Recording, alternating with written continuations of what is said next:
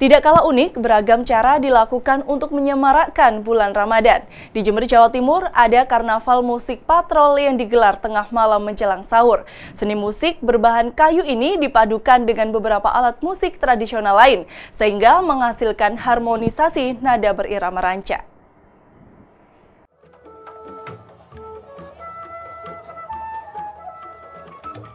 Sebanyak 21 grup musik patrol tradisional menampilkan aksinya dalam menabuh kentongan yang terbuat dari kayu sebelum memulai karnaval yang digelar menyusuri jalanan kota Jember, Jawa Timur.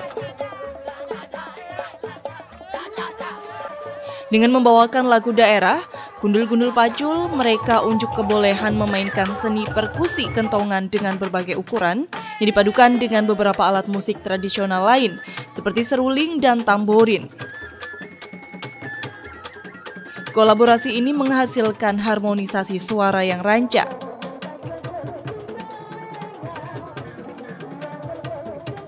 Karnaval ini semakin meriah dengan gerakan tari tradisional khas dalam balutan pakaian ala Pandalungan, yakni perpaduan dua budaya Jawa dan Madura.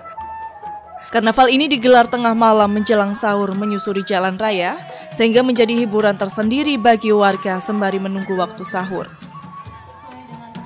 Ya karena musiknya terbuat dari kayu, terus kan mau dipakai penari-penari. Bagus ya, Mas. Kalau dari segi komposisi lagu musiknya gimana? Rancak.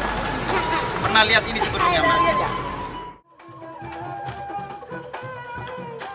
Kentongan merupakan alat musik khas suku Madura, namun seni tabuh tradisional ini terus terkikis perkembangan musik modern. Karnaval ini sendiri digelar sebagai salah satu upaya untuk melestarikan budaya tradisional, sekaligus menumbuhkan minat generasi muda untuk turut memainkan alat musik ini. Ini kan berkaitan juga dengan budaya orang Jember dalam rangka membangunkan orang sahur awalnya. Dan di perkembangan waktunya secara musikalitas kita kembangkan sehingga jadilah menjadi musik patrol ini. Ikonik Jember. Hernawan Mustika, Kompas TV Jember, Jawa Timur.